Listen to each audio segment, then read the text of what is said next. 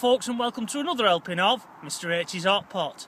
You join us today on Boxing Day here in Flintshire where Mrs H, the girls and myself have come for a, the traditional Boxing Day walk and to try and get rid of some of the old uh, Christmas dinner from yesterday.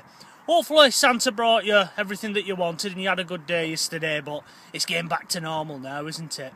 So, we're out and about. And where have we come to today? Well, we've come to Bagillt uh, Beacon, which is in Flintshire.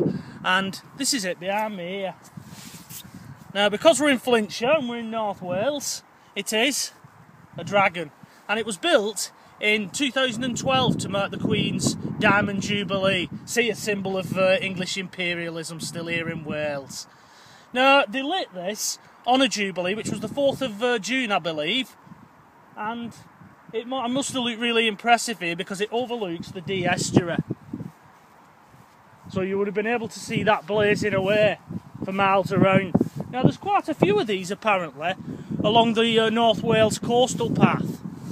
And the idea of them is that it marks it very similar to our ours do over in Lancashire and Yorkshire though. But this is a modern day one. There's also supposed to be a time capsule buried. Now whether it's buried in this compound somewhere or not, I don't know. But the local kids at the time, they put all things in like a school uniform and news about themselves and things like that. I think we had the Domesday Project when I was a kid back in 1981, but these guys have had this. So they're all going to come back in 50 years' time and uh, dig it up and say, oh, I remember putting that in there.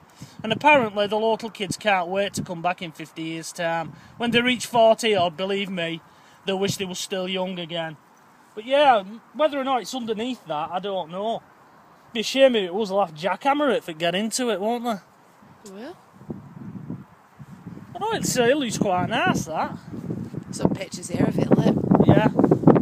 Yeah, that's it lit those two burly gentlemen who uh, put it up. And I think that was it being made in workshops. It was made locally, I believe. It's fantastic the work in it, isn't it? It really the artwork. It is. Bit of a better angle here without the uh, the shadows that are forming. Because it's quite sunny here in Wales. Although back in back in England it's raining, isn't it at all? It is. It's still freezing here though. Right then, we're going to carry on with our little walk and, uh, and warm up a little bit.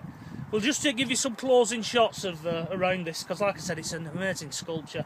It'd be even better if it was lit, but I can't do that for you, hot potters, I'm afraid.